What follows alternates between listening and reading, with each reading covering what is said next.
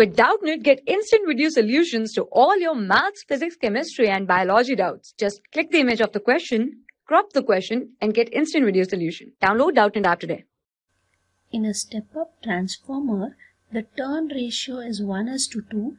Leclanché cell EMF 1.5 volt is connected across the primary. The voltage developed in the secondary would be. So this is a step-up transformer which means the voltage will be increased, raised from compared to the primary voltage which means that you can say that voltage across primary will be less than the voltage across the secondary. And in the uh, case if they are giving you the turn ratio, turn ratio means it is the ratio of ns to np. So that is what they call it as turn ratio.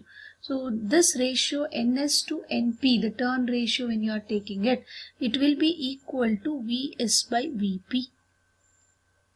And so when you are using this in an equation, turn ratio, this ratio they are giving you, the turns, number of turns to primary and secondary they are giving and that ratio is 1 is to 2. And this turn ratio they are giving it as 1 is to 2. This ns is to np, this ratio they are giving it as 1 is to 2. And this turn ratio works out in the case of a transformer.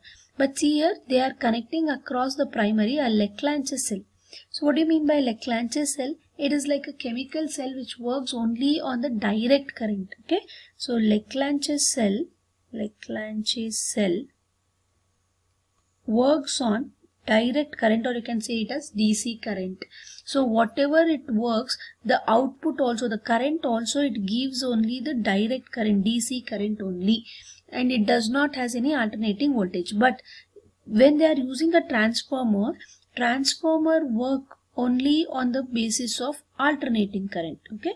The function of the transformer works effectively only on AC current. But like Leclanché cell works on direct current.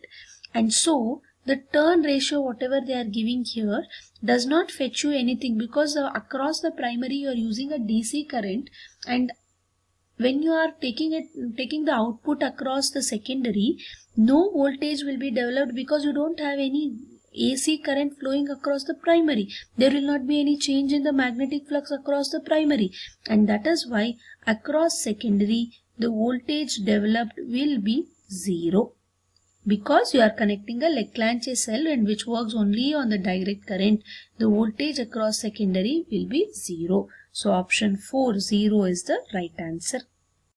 For class 6 to 12, IIT JEE and NEET level.